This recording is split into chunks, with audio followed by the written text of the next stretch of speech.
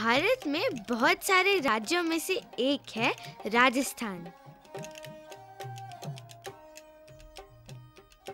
मैं इस बार मम्मी और पापा के साथ जैसलमेर गई थी, जो कि राजस्थान में है।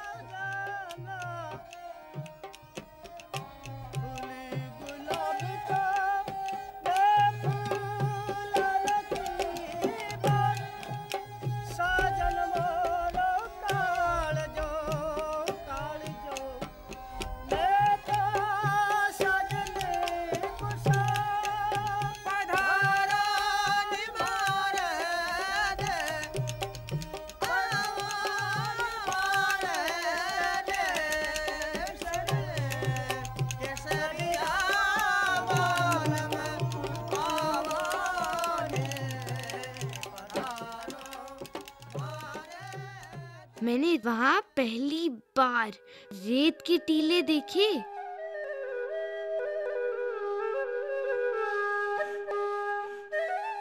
कैसे बनते हैं ये रेत के टीले?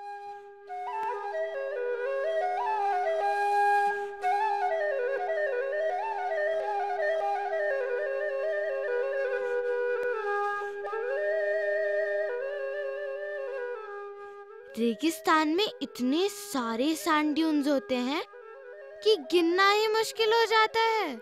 और वो इतने सुंदर हैं कि उन्हें देखकर तस्वीर बनाने का मन होता है।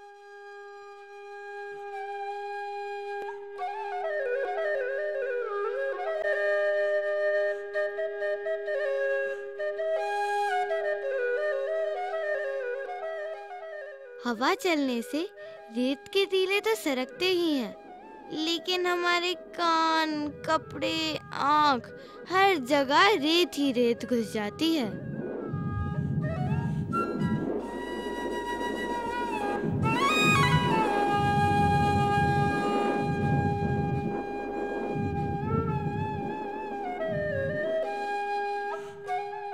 मेरे ख्याल से राजस्थान के लोग इतने रंग बिरंगे कपड़े इसलिए पहनते हैं क्योंकि राजस्थान में रेत ही रेत भरी रहती है, यानी कि एक ही रंग की सारी चीज़ें तो राजस्थान के लोग सोचते होंगे कि चलो, हम भी थोड़ा रंग बिरंगा बन जाएँ।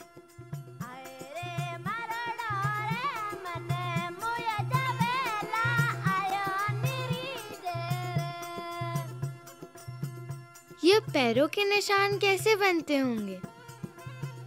मैंने तो ये सिर्फ़ समुद्री तटों पर देखा है। और यहाँ पे भी देखा था।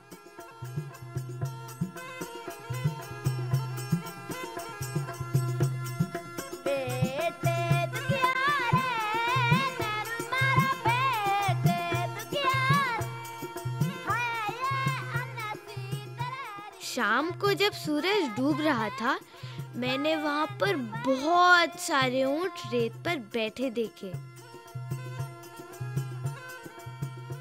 मुझे ऊँट बहुत प्यारे लगते हैं।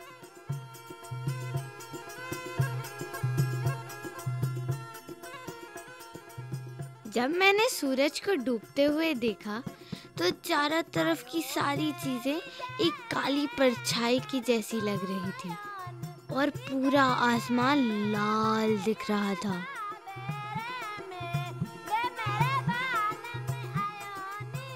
शाम के समय रेत बहुत ठंडी लग रही थी।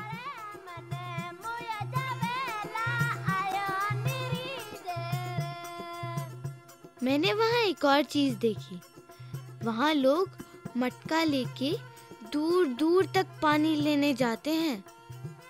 हमें तो पानी घर पे नल में मिल जाता है, लेकिन इन्हें दूर दूर तक पानी क्यों लेने जाना पड़ता है।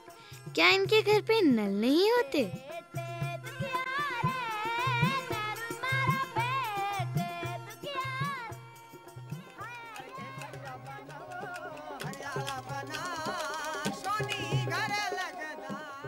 मैंने सुना, वहाँ का गाना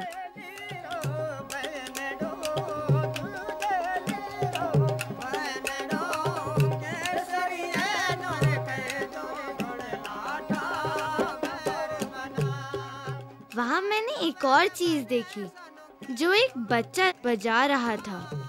दादाजी ने बताया कि उसे खड़ताल कहते हैं।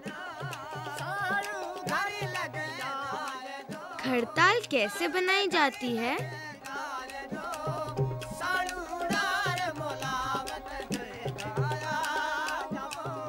कितना नया था सब कुछ।